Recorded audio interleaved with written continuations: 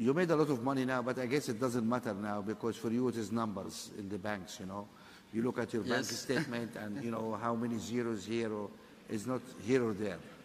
But I don't even look at that at all. You don't even like it, but it's okay.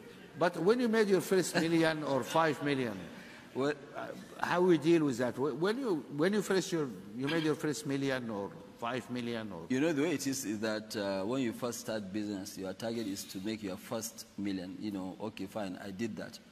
But you know, after, you know, a year or so, I realized that, look, I have much more than uh, 12, 13 billion, you know, and I said, okay, fine, all these numbers are just written numbers. Yeah. You know, and uh, one day I went to uh, a bank.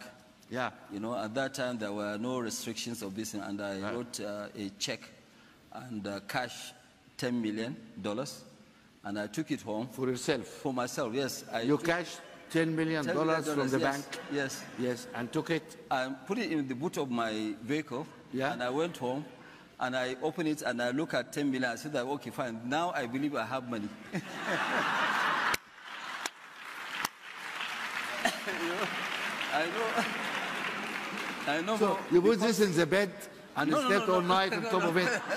You made love to your money. It was, no? it was in the boot of my uh, Of car. You know, car. Yeah, yeah. But I brought it, and I went there by myself. I drove myself to the bank. I cashed the money, and uh, you know, I put it in my room, and I look at the money, and I took it back to the bank the next day. Can I ask you how much money you have in your wallet today? Today, Yeah, how much money you have in your pocket? you'll be very, very surprised. Uh-huh. I don't even have, not even a dollar, nothing, You have no money on you. nothing, nothing. I have nothing. That's money for you guys. When you have money, you don't carry money.